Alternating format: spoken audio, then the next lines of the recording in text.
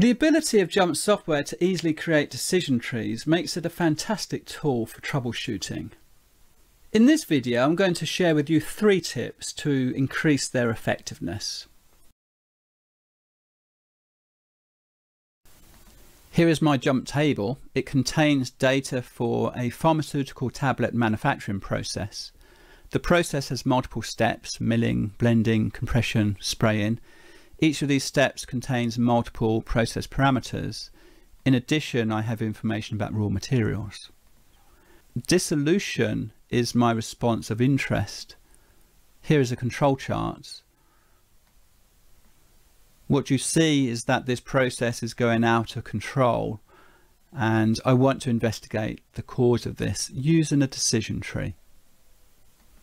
To create the decision tree I can come to the partition platform and I could put dissolution as the response and everything else as the x's.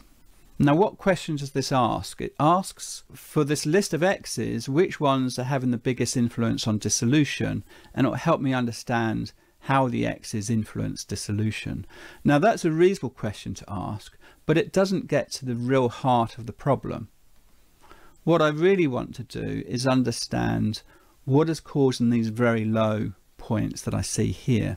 So I'm selecting these points and I've got 11 of them. So tip number one, I want to convert my continuous response dissolution into a binary response, a response that has two values such as good and bad.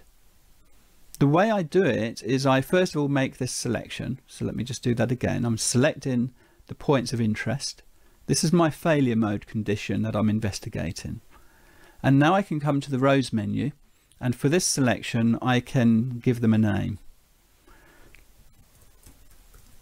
And the selected values are poor and the unselected ones are the normal condition.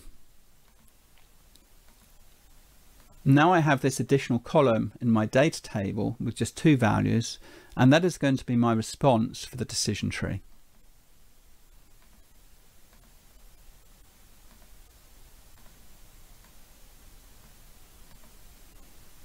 Now I can go ahead and actually create the decision tree. Tip number two. I have two outcomes, red and blue, and I can see the outcomes if I hover over them, but I would I don't want to keep on trying to remember which is which. So what I'd like to do is put labels onto this decision tree such that when I split I know what the red and blues are and I also know what the relative proportions are. So to do that I display this or turn on this option, show split probability. So it does two things.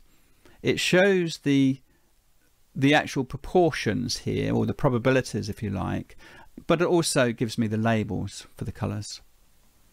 So this is a much more visual representation of the information now. So we can see that on average 12.5% was poor, but when we have a mill time less than 14, we go up to 30%. And if I do another split, if we have a mill time less than 14 and a screen size of 5, we're close to 60%. So it looks like I have a condition here.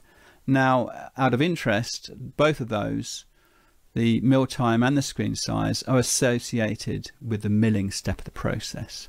So I'm learning a lot from this. And this is a much more visual way of conveying the information. This is so useful in fact I would suggest you turn this on as a default preference and in version 17 that's very easy to do. I can just save my changes and save this as a preference.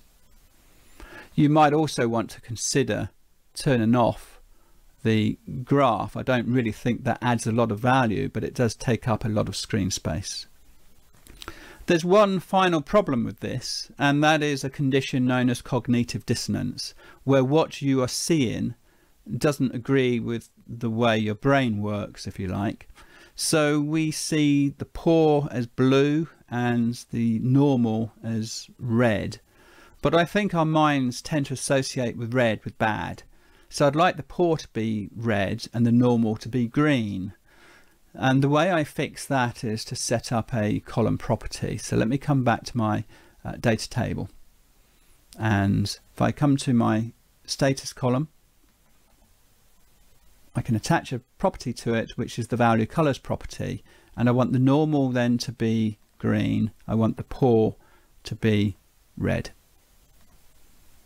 Now when I come to my decision tree, well nothing's changed, but the next time I create a decision tree, it will inherit those colors. The quickest way I can do that is just to do a redo. So now you see my decision tree has the colors and I quickly see that the red condition here, this is the poor condition, this is the problematic area, it's the failure mode. And I can very quickly use this decision tree to drill down and isolate potential conditions that are contributing to that failure mode. I hope you found this video useful. If you did, please click the like button below and think about subscribing so that you can easily find future videos. Thanks for watching and bye for now.